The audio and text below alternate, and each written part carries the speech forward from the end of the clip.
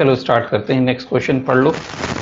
Next question है, एक electron है, जिसका मास m है चार्ज स्मॉल e है इनिशियली रेस्ट पे है, और by constant electric field the rate of change of de Broglie wavelength de Broglie wavelength का rate of change rate of change of wavelength क्या होता है? D lambda by d t ये rate of change ये rate of change of wavelength कहलाता है। ठीक है ना? ये वैल्यू आपको निकालनी है। तो सबसे पहले ये इलेक्ट्रिक फ़ील्ड है।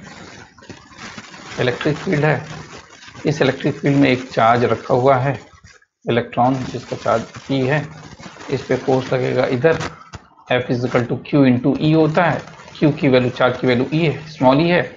तो इलेक्ट्रिक फोर्स हो गया ई इंटू कैपिटल ई तो force equal to m a होता है। जो फोर्स लग रहा है, उसके वैल्यू एम ए इसका मास अगर हम मान लेते हैं। तो acceleration is equal to force upon mass होगा। तो फोर्स की value E into capital E upon m ये एक्सेलरेशन होगा। करेक्ट है?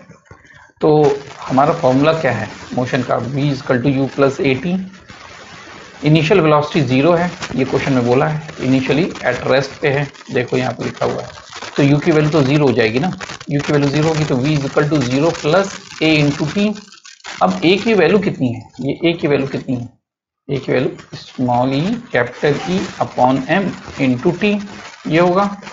अब डी ब्रॉगवे वेवलेंथ कितना होता है? डी ब्रॉगवे वेवलेंथ होता है एच अपॉन पी इसको एच अपॉन एम वी लिख सकते हैं। लीनियर मोमेंटम को तो lambda is equal to h upon m v v की वैल्यू ये वैल्यू उठा के रख दो यहाँ पर। M E capital E upon m into t m से एम कट जाएगा। H upon E capital E into t lambda की वैल्यू इस इक्वेशन को टाइम के रिस्पेक्ट में डिफरेंशिएट कर दो।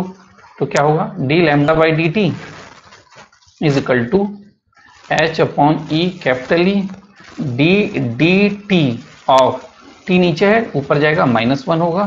कितना हो जाएगा? H upon E into capital E into minus one into ये होगा। टी पे power minus one minus one ये हो जाएगा minus h upon E capital E t पे पावर माइनस टू होगा, नीचे आएगा t square plus two d lambda by d t की वैल्यू आ गई ये rate of change in wavelength तो ये कौन सा ऑप्शन है भाई एच अपॉन ई कैपिटल ये वाला ऑप्शन सही है। ये वाला करेक्ट ऑप्शन है। ठीक है नेक्स्ट क्वेश्चन करते हैं अब।